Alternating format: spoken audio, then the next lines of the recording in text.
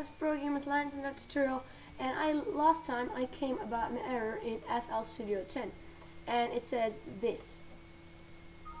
This version has expired. Please check the latest version. So I thought crap what's happening?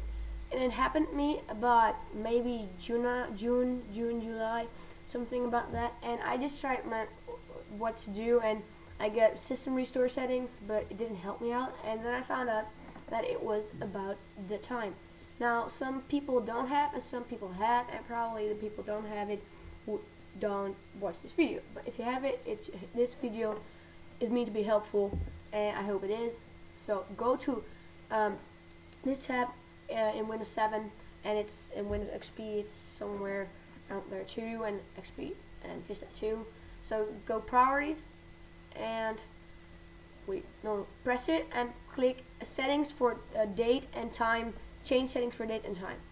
And press the date and time uh, change thing. And it is administrator you probably need to run it in administrator. But um, so you see it's October 9th 9th October. And it happened about maybe July June June June.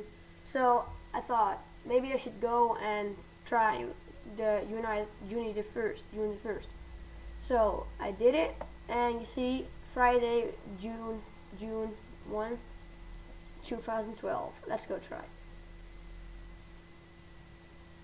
Ta-da-da. so you all see this probably? Takes a bit long to load up. And you see it works so also try my check my channel pro beat mixers to get myself get some remixes. I want to show my one. Can't leave to do it. What the hell is it? Get out here. So this is how it looks. If you're new to to FL Studio, also just go check some tutorials and make a song. It's very easy, but in the beginning, it is hard to learn. So this is it. Patterns, whatever pattern, playlists, equalizer. That's it.